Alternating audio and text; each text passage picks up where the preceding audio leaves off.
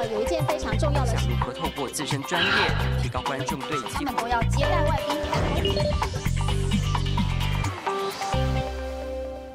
二台午餐会至为仁医，本着救人的初衷，在医疗体制之外，仁医会的存在有何意义与价值？刚刚新闻报道看到了，此际圆满了在柬埔寨的。这个义诊行动总共有六国人医团队一起来加入，继续呢将带您到马来西亚，请马来西亚槟城主播杜永耀告诉我们，其实，在马来西亚有这么一个霹雳智慧的人医会团队，他们在当地是如何开展免费医疗行动的故事。永耀好，在真好，全球的观众大家好，这里是马来西亚现场。那结束了一天繁忙的工作，您是否愿意舍出个人的休息时间，帮助有需要的人呢？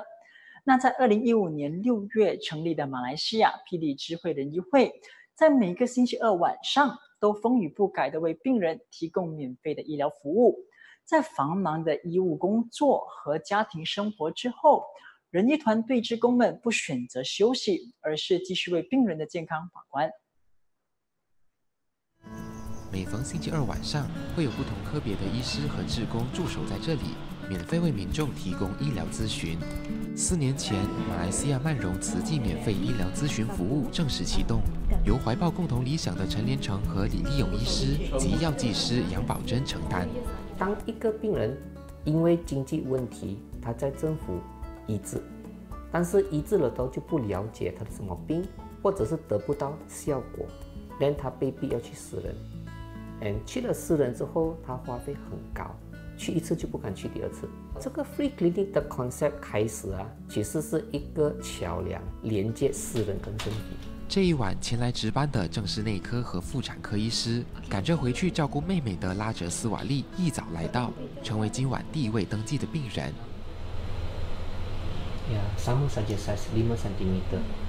拉哲斯瓦利的子宫长瘤需要动手术。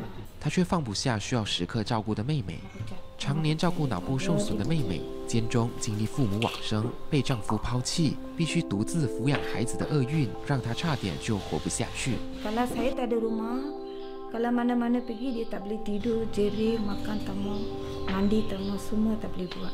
Tunggu saya mari. Saya ni macam tak ada pergi mana mana pun tak ada tinggal. 妇产科医师陈连成知道他心中的挂碍，所以建议了另一个方案。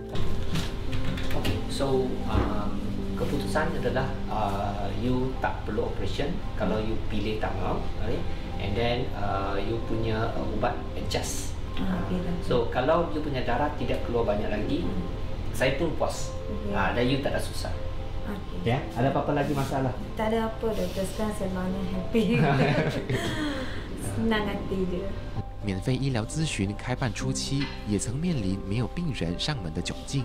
但是基本上我们这里就是说，不会说给你治疗那方面，就是哎什么哎你不开药了什么，那我们主要是给你给你解答你的疑问。真的需要的话，我们就建议哎你去哪里可以得到这样治疗。这是你们在医院做不到的事情。做不到的事情，为什么会做不到？太多病人了，根本是。说你一天，然后早上一个早上门诊那边一排了这个整百人，啊，那个号码、那个时间啊，都要在追的。医师和职工们始终带着坚定的信念，慢慢建立起医病之间的信任，渐渐的也吸引更多民众愿意前来寻求咨询。说现在是这个病人外面找不到医生，或者是他自己医生给不到一个好的解释，他问题一直存在，啊，连他来看了。不用付费的医生，医生用他的心可以去解释到完他的问题，maybe 不是说一百 percent resolve，至少他可以有一个安心感，他知道他面对什么问题，让更多病人得到实际的帮助，而后露出安心的微笑，是仁医会医师们真切的心愿。大爱新闻杜慧熙、刘志渊，马来西亚采访报道。位于霹雳州的双里佛小渔村。由于大部分的年轻人呐都选择往城市发展了，因此大多数的商人也只能雇佣外劳，导致渔村里的外劳人数呢已经是当地居民的三倍，达到现在的两千人。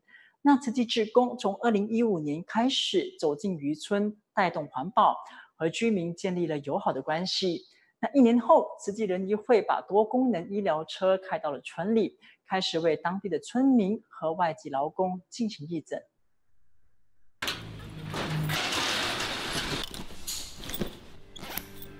每两个月一次，曼荣仁医团队都会来到曼荣慈济会所，搬上需要的资源，开车一个小时前往双里佛渔村。位于霹雳州曼荣县和拉律巴当交界的双里佛小渔村，是马来西亚国内生产海产的第二大渔村。年轻人大部分都往城市发展，多数的商人都选择雇佣外劳。如今外劳人数已经超越在地居民，人口比例是当地人只有六百位。外劳却有两千位。早上没有水的，因为晚上半夜才有水的。十二号是吗？哦，这个十二号。哦，你是空肚子半小时，至少半个小时前。你先吃一粒，再不是的话呢，如果你忘记，你就吃饱了过后过两个小时也算是空肚子。杨宝珍是一名药剂师，加入慈济超过十年。在承担社区志工的过程，发现许多个案都面临因病而贫、因贫而病的情况。二零一五年，霹雳仁医会成立之后，宝珍承担仁医会活动总协调，无论是义诊活动还是免费医疗咨询，都由他负责沟通与协调。在这么误路的地方，本来他们都已经很缺乏医疗的设备，然后我们可以带着一个 ultrasound 的 scan 过来，可以帮助他们 trace 一些普通的。Clinics trace 不到的东西。当我们在这一种义诊的时候，哈，是可能没有一个私营的地方。比如说有一些呃中医，我们要针灸，针灸到背后怎样？不可能在 open 的 area 嘛，对不对？又或者是要照照 baby 啊，或者是照子宫啊，所以就是请他上来这一边，然后关着比较私隐的地方。这个村呃有超过五十八仙的都是外劳，我们还印那个呃缅甸语啊。越南语呀，然后放在他们工作的工厂，让他们知道说，哎，我们有妇科，你可以过来照一下你的子宫健康吗？双里佛渔村义诊迈入第三年，当仁医会团队忙着看诊，慈济职工蔡晶晶常常挨家挨户邀约外籍劳工参与义诊。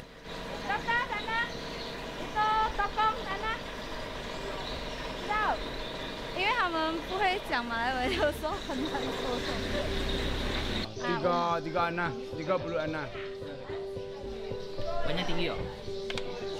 我们一量他的血压就是一百八十跟一百一十，他还很年轻。如果这样子持续下去，他不是中风，他就是 end up with 他的 kidney，他的那个肾脏一定是坏掉去，人整个家庭就是这样子倒了。我们有就说借他一个 BP set，刚才我们也有确定他真的会用那一个血压机，然后让他拿回去。两个星期后，我们就会再进来再 follow up 看一下他的情况去到哪里。主要我们做这个义诊哦，有时就是可能一天里面。不是很多病人，可是当我们发现到有一个这样子的病人，其实我们就可能救了一个人，帮到一个真正需要的人。当慈济社区志工和仁医会团队合作，为有需要的社区民众提供医疗服务，除了得到平病人们情况有所改善的满足笑容，收获更多的也许是保持行善和行医初衷的慈悲力量。大爱新闻杜慧熙、刘志渊，马来西亚采访报道。